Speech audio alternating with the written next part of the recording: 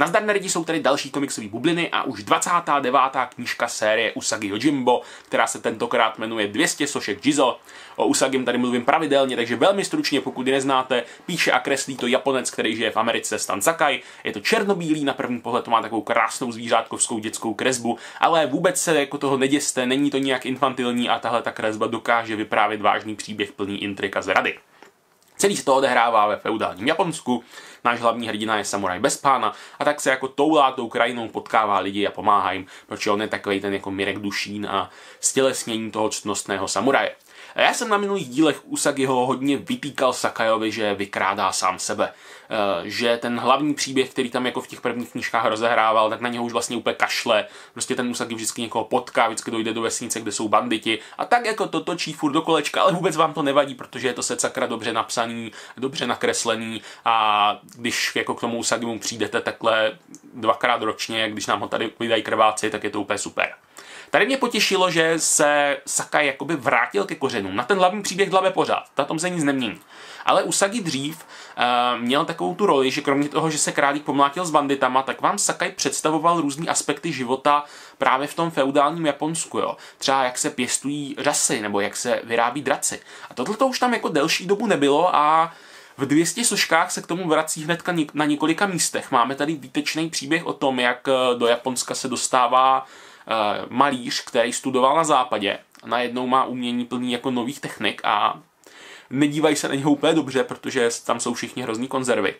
A potom je tady výborný příběh o tom, jak se vyrábí sojová omáčka jo, jak využívali plísně, jak to míchali v kádích. A samozřejmě zase je to zapletený do nějaké gangsterky, zase tam máme jako druhého zlého výrobce, který chce toho našeho hodného zničit, ale jako celkově vám tady zase popisuje ten proces a je to, je to výborný, tohle vám na úsagem hrozně rád.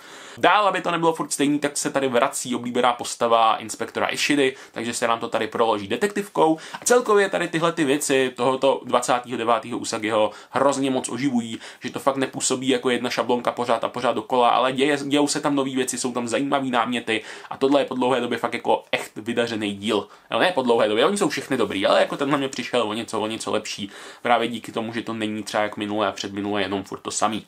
Jinak řešit tady ty povídky, hele, je to 29. knížka, jako Sakai tohle to píše furt stejně. Máme tady vždycky jasně oddělený dobro a zlo, Usagi vždycky udělá dobrou věc, postavy jsou sympatiáci, ale furt jako točí ty svoje stejné jakoby archetypy, eh, ať už je to namyšlený lord, eh, zbabělý bandita, hrdinský samuraj, na tom se nic nemění, na kresbě taky ne, ta je naprosto prvotřídní, jak říkám, dětská, ale naprosto úžasná, on každým panelem ví, co stihnout, nejvíc exceluje eh, v momentech, kdy prostě ty postavy jenom třeba stojí a na sebe koukají, on skvěle vystihne tu mimiku, skvěle vystihne úplně všechno, co potřebuje, jako tohle to Sakai umí. Takže Usagi Jimbo, pokud jste s touhletou sérií ještě třeba nepřišli do styku, tak klidně bych vám to doporučil jako začínající knížku, jako nástupní bod. To je na Usagim fajn, že jako má venku 29 knížek, ale nemusíte to číst od jedničky. Takže říkám, některý z těch prvních dílů jsou takový příběhový a mohli byste se tam ztrácet, ale tohle to třeba funguje úplně v pohodě samostatně. Takže to je z dnešních komiksových bublin všechno, díky, že jste se dívali, budu se těšit zase příště. Nezapomeňte rád odběr a komiksu zdar.